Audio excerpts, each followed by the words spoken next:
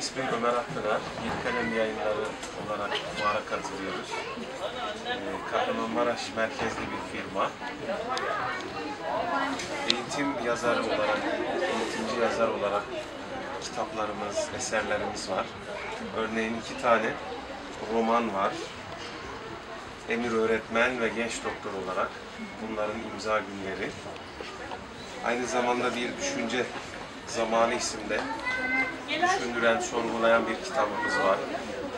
Psikolojik, sosyolojik, e, düşünce temelli denemeler üzerine ve diğer kitaplarımız dünya klasikleri, çocukların eğitimine uygun, okumayı hızlandıran, okumayı sevdiren güzel kitaplarımız var. Sivas Fuarı güzel, çarşının merkezinde yapılmış, kent merkezinde çok güzel düşünülmüş. Ayrıca otantik bir hava verilmiş. Bunların e, olması güzel.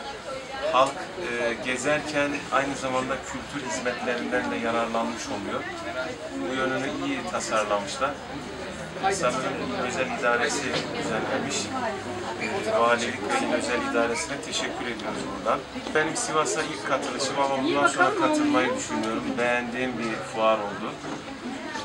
İnşallah daha da güzelleriyle karşılaşacağız. Öyle ümit ediyorum. E, Şu yapılabilir. Şimdi konaklama yazarların gelişi gidişi onlarıyla ilgili bizim bir talihsizlik yaşadık. 4 Eylül Kongre e, kutlamaları zamanına denk geldiği için e, konaklama problemi yaşadık. Bununla ilgili düzenleme yapılabilirdi. Yani yer bulmakta sorun yaşadık. İlk gün e, sıkıntılıydı. İkinci gün bulabildik.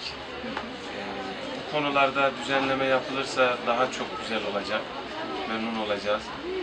E, Başka bir konu e, artırılabilir meydan geniş. E, Bunu gördüm ben. Daha fazla katılım sağlanabilir. Yani biraz sınırlı tutulmuş gibi geldi. E, Bu harika meydan biraz daha açılıp genişletilebilir. Çünkü müsait bir yapısı var, geniş bir yapısı var. Onu gördüm. E, Bu arada sizin yöresel neyiniz varsa onlar tanıtılabilir. Yani e, bu tür faaliyetler bir kente özel ürünlerin aynı zamanda tanıtıldığı yazarlarına, okurlarına, e, onların sunulduğu, çevresinde güzelce kitap fuarını kuşatan bir şekilde düşünüldüğü, organize edildiği yapılar da olabilir, ona dönüşebilir. O şekilde daha güzel olacağını düşünüyorum.